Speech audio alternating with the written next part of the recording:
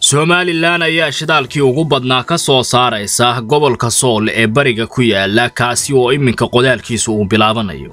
Waxaana la filayaa ceelal saliidda ceedhiini ay ka buuxdo oo ku yaalla deegaamadaasi inay noqdaan khayraadka ugu horreeya ee dibadda la keeno.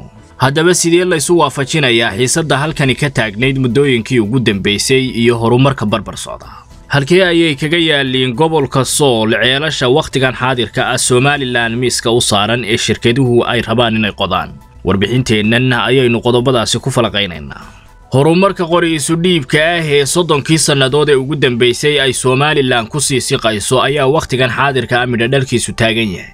Waxaana xukuumaddii madaxweyne axmed maxamed maxamuud silaayo markii ay talada waddanka la wareegtay bilowday in saliidda ceedhiin ee ceegaagta somalilan dibadda la soo dhigo taasi oo loo diray shirkado arrintaasi khimrad u leh. Waxaana ay ogaadeen goobo badan oo laysku hadlayn karo taasi oo hodontinimada somalilan iyo inay dhaqaalaha afrika hogaamiso ay ka bilaabmayso. Xukuumadda iminka somalilan hoggaankeeda haysa ee madaxweyne muuse biixi cabdi uu garwadeenka ka yahay ayaana halkii ka sii ambaqaaday horumarkii maadaama oo baadhistii shidaalka lagu guulaystayna waxa ay heshay xulufo cusub oo ka taageerta dhinaca shidaal qodista iyo soo saaristiisa. Waxaana kow ka ah dowladda taiwan oo maal gashanaysa ceelasha ugu waaweyn uguna horreeya ee somalilan laga soo saari doono ee shidaalka. Ilowareedyada qaarkood ayaa waxa ay sheegayaan afar goobood oo bariga iyo galbeedka ku kala yaallaa inay qorshaysan yihiin in laga soo saaro shidaalka ugu horreeya ee somalilan goobta ugu horraysee laga bilaabayo ayaa ah deegaanka xood oo gobolka togdheer iyo gobolka sool ay iska soo galaan sida oo kalena. Noqonaya ceelasha ugu waaweyn ee hodontinimada somalilan iyo dhaqaalaha afrika inay hogaamisaa uu ka bilaabmi doono.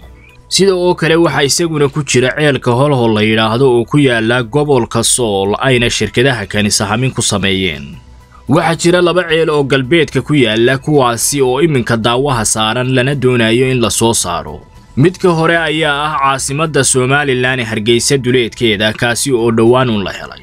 Halka uu kan kalena ku yaallo gobolka daad madheer kaasi oo noqon doona kuwa ugu shidaalka badan somalilan marka la soo saaro.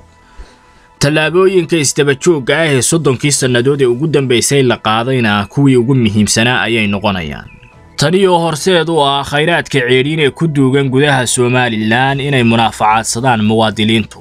Arrimaha aqoonsi caalami ah ayuu wax weyn ka tari doonaa marka la soo saaro afartan ceel ee shidaalka ah ee ku yaalla bariga iyo galbeedka somalilan.